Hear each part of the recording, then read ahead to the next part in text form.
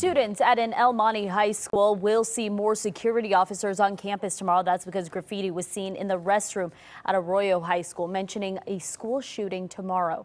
Law enforcement was notified school will still be in session, but Principal Gabriel Flores said out of an abundance of caution, the police department will do extra patrols tomorrow.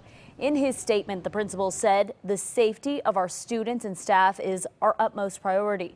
We ask that you always report any suspicious activity on campus to the school administration.